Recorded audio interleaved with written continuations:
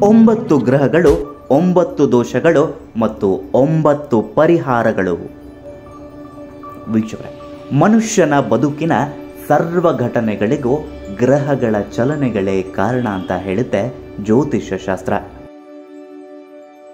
ನವಗ್ರಹಗಳ ಚಲನೆಯಾದಂತೆ ಮನುಷ್ಯನ ಬದುಕಿನಲ್ಲಿ ಒಳ್ಳೆಯ ದಿನಗಳು, ಕೆಟ್ಟ ದಿನಗಳು ಬರ್ತಾ ಹೋಗ್ತವೆ. ಬದುಕಿನಲ್ಲಿ ಏರುಪೇರುಗಳಾಗ್ತವೆ ಸಾಮಾನ್ಯವಾಗಿ ಸಂಕಷ್ಟ ಬಂದಾಗ ನವಗ್ರಹಗಳ ಆರಾಧನೆ ಮಾಡಿದ್ರೆ ಅದರಿಂದ ಒಳಿತಾಗುತ್ತೆ ಅಂತ ಹೇಳ್ತಾರೆ. ಆದರೆ ಒಂದು ವಿಶೇಷವಾದಂಥ ಸಂಗತಿಯನ್ನು ಇವತ್ತು ಹೇಳ್ತೀವಿ ಕೇಳಿ. ನವಗ್ರಹಗಳ ಆರಾಧನೆ ಅಂದರೆ ಕೇವಲ ಪೂಜೆ ಮಾಡೋದಾಗಲಿ, ಹೋಮ ಮಾಡೋದಾಗಲಿ ಅಲ್ಲ. ಒಂದು ಅಪೂರ್ವವಾದಂತಹ ಆರಾಧನಾ ಕ್ರಮವನ್ನು ಇವತ್ತು ಹೇಳ್ತೀವಿ ಕೇಳಿ. ಮೊದಲನೇದಾಗಿ ತಂದೆಯನ್ನು ಆಧರಿಸಿ ಗೌರವಿಸಿದರೆ ರವಿ ಸಂತೃಪ್ತನಾಗ್ತಾನೆ.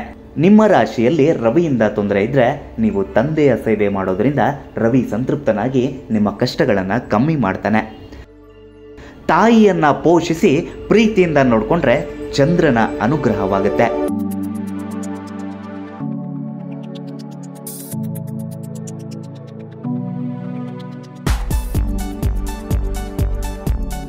ಆಪತ್ಕಾಲದಲ್ಲಿ ಇರುವಂತಹ ಭ್ರಾತೃಗಳನ್ನು, ಅಂದರೆ ಸೋದರರನ್ನು ಪೋಷಿಸಿ ಸಹಾಯ ಮಾಡಿದ್ರೆ ಕುಜನಿಗೆ ಪ್ರೀತಿಯಾಗಿ ನಿಮಗೆ ಒಳಿತನ್ನು ಮಾಡ್ತಾನೆ.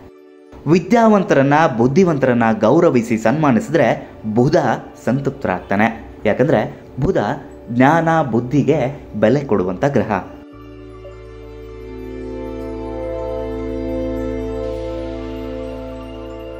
ಇನ್ನು ಮಕ್ಕಳಿಗೆ ಸಿಹಿ ಹಂಚಿ ಪ್ರೀತಿಸಿ ಪೋಷಿಸಿದರೆ ಗುರುವಿನ ಪ್ರೀತಿ, ಅನುಗ್ರಹ ನಿಮ್ಮ ಮೇಲಾಗುತ್ತೆ.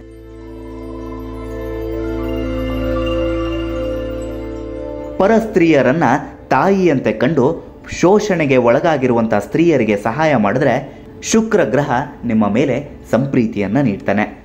ಇನ್ನು ತೀರ್ಥಯಾತ್ರೆಗೆ, ಗಂಗಾ ಸ್ನಾನಕ್ಕೆ ಹೋಗುವವರಿಗೆ ವೃದ್ಧರಿಗೆ ಅನ್ನ ನೀರು ಕೊಟ್ಟು ಬಟ್ಟೆ ಕೊಟ್ಟು ಕಾಪಾಡಿದ್ರೆ ಶನಿ ಭಗವಂತ ನಿಮಗೆ ಅನುಗ್ರಹ ಮಾಡ್ತಾನೆ.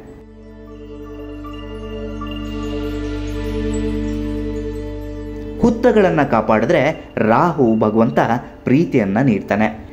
ಇನ್ನು ಸಾಧು ಸಂತರು, ಯತಿವರ್ಯರನ್ನು, ಜಂಗಮರನ್ನು ನಮಸ್ಕರಿಸಿ ಸಹಾಯ ಮಾಡಿದ್ರೆ, ಆಧರಿಸಿದರೆ ನಿಮಗೆ ಕೇತುವಿನಿಂದ ಅನುಗ್ರಹವಾಗುತ್ತೆ.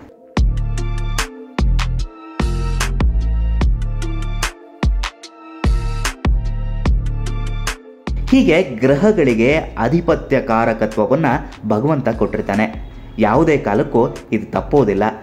ಕಾಲಚಕ್ರ ಹೀಗೆ ಉರುಳ್ತಾನೆ ಇರುತ್ತೆ. ನಾವು ಕಾಲಕ್ಕೆ ಅಧೀನರು ಕಾಲವೇ ಎಲ್ರಿಗೂ ಪಾಠವನ್ನು ಕಲಿಸುತ್ತೆ. ಒಟ್ಟಿನಲ್ಲಿ ಗ್ರಹ ದೋಷಗಳಿಂದ ದೂರವಾಗಬೇಕು ಅಂದರೆ ಕೇವಲ ಹೋಮ, ಹವನ, ಪೂಜೆ ಮಾಡೋದಲ್ಲ.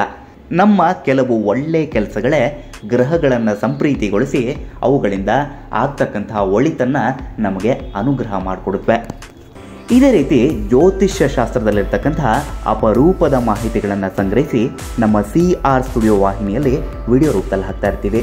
ನೀವಿನ್ನೂ ನಮ್ಮ ಚಾನಲ್ ಸಬ್ಸ್ಕ್ರೈಬ್ ಮಾಡಿಲ್ಲ ಅಂದರೆ ದಯವಿಟ್ಟು ಸಬ್ಸ್ಕ್ರೈಬ್ ಮಾಡಿ ಹಾಗೆಯೇ ಬೆಲ್ಲೈಕನ್ ಒತ್ತೋದನ್ನು ಮರಿಬೇಡಿ. ನಮ್ಮ ಹೊಸ ವಿಡಿಯೋ ಬಂದಾಗ ನೋಟಿಫಿಕೇಷನ್ ಪಡಿರಿ.